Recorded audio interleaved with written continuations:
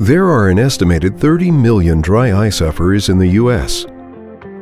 Approximately 86% of dry eye sufferers have a condition called meibomian gland dysfunction, or MGD.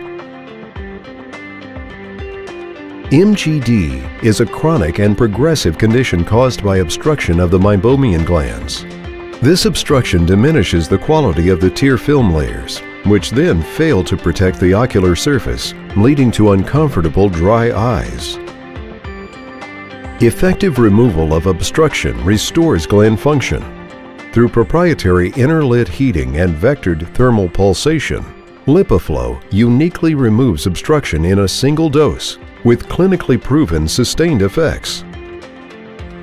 In developing LipiFlow, TearScience made key scientific breakthroughs, bypassing significant natural obstacles in the eyelid which protect the eye from damage due to extreme temperatures.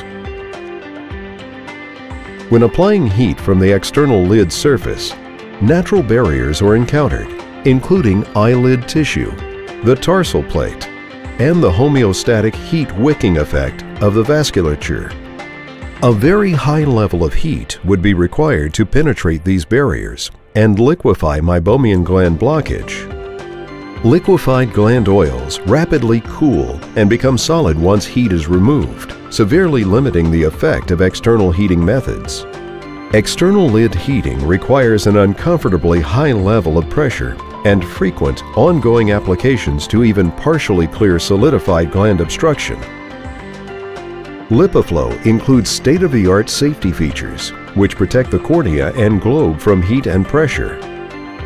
Only LipiFlow heats the meibomian glands from the inner lid surface, liquefying oils with a minimum application of heat. Only LipiFlow evacuates the gland contents using gentle peristaltic pressure simultaneous to the heating process. And only LipiFlow achieves the core therapeutic goal of removing gland obstruction completely in a single treatment step. LipiFlow integrates easily into practice flow, improving overall patient care and promoting the growth of your practice. TearScience is proud to partner with an expanding network of providers who are successfully increasing the standard of care for the treatment of MGD.